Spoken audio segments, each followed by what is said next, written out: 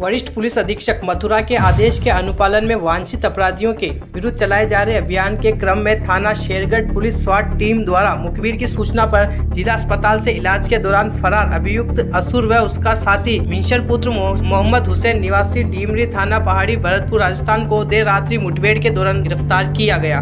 मुठभेड़ में घायल अभियुक्त असुर को उपचार हेतु सी छाता में भर्ती कराया गया है। अभियुक्त असुर पुत्र खुर्शीद उम्र 21 वर्ष की तलाशी के दौरान एक अवैध तमंचा 315 बोर, दो ज़िंदा कारतूस व दूसरे अभियुक्त मिशर पुत्र मोहम्मद हुसैन के पास से एक तमंचा 12 बोर, तीन ज़िंदा कारतूस बरामद किए। इन दोनों गिरफ़्तार अभियुक्त गण के विरुद्ध नियमानुसार वैधानिक कार्रवाई की जा रही है। छब्बीस दिसंबर दो हज़ार बाईस को शेरगढ़ थाने की पुलिस ने एक एनकाउंटर में असरुद्दीन को पकड़ा था और उसको जिला अस्पताल में भर्ती कराया था। जिला अस्पताल से वो फरार हो गया था।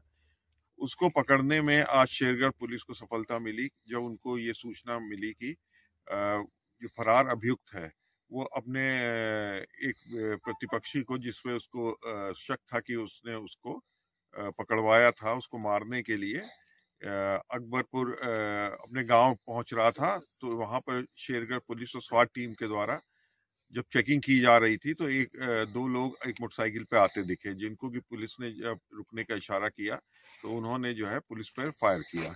पुलिस ने भी आत्मरक्षात गोली चलाई, जिसमें कि असरूफ, असरुद्दीन को गोली लगी है, जिसको कि नज़दीकी सीएससी में इलाज के लिए भेजा गया है।